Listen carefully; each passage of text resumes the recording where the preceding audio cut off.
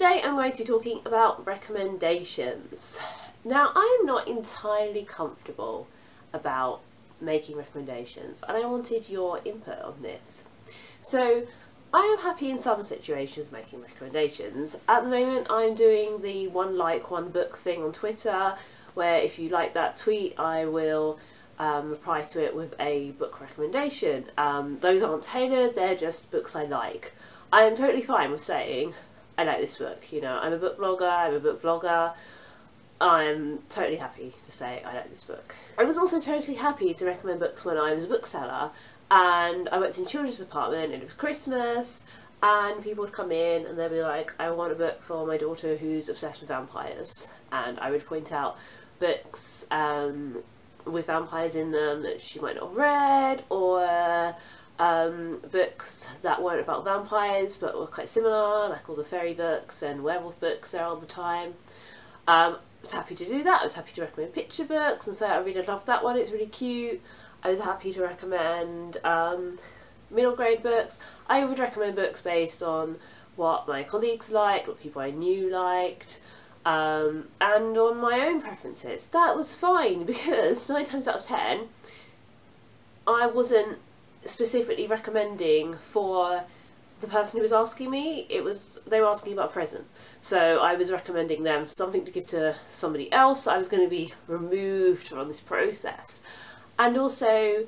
Um, you know, they were people I didn't have a personal connection with. They were people coming into the store, potential customers that I was trying to charm into buying books. The problem comes when you have sort of friends that you're really good friends, but you haven't known them that long that you've really established a true rapport or where you have friends whose reading taste is slightly different to yours and so you're not really sure about the overlapping up until a few years ago, I didn't have that many bookish friends. Apart from my very best friends, I didn't really know anybody in real life that was into reading. I had friends, but they were kind of mm, about reading, you know, they read books like a uni for uni and didn't read books for fun after that. I think it burnt a lot of people out.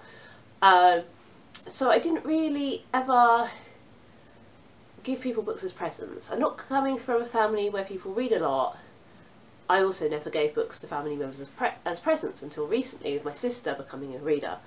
Um, so when I grew up, I didn't really get books as presents very often that I hadn't picked out myself. And so I wasn't used to it. Now, in the last few years, people started giving me books as presents. And I can't give them back. I, obviously not the same books, that would be silly, you know. they give me presents and I they're confident in making these recommendations to me by buying me presents of books and I just don't know how to do it.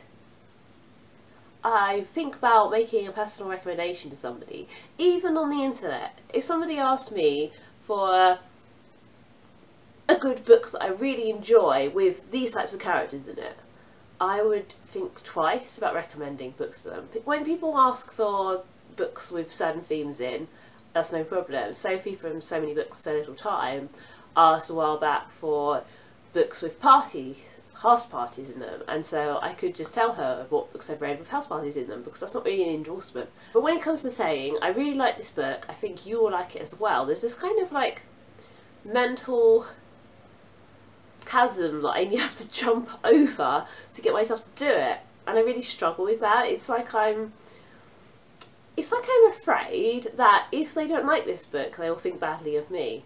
And that might not be the case.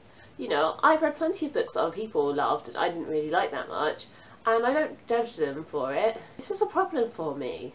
So I want to know, how do you recommend books? How do you gain confidence in recommending books? Or is this something you struggle with as well? Do you just recommend the same books that you really love to everybody regardless of who that person is? Or do you try to tailor it?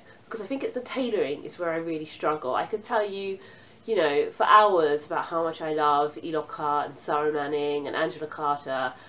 You know, they're my three favourite authors. I could tell you for ages why I love them, but up to you. But it would be up to you to decide whether you want to read any of those, if that makes sense. That's not a personal recommendation.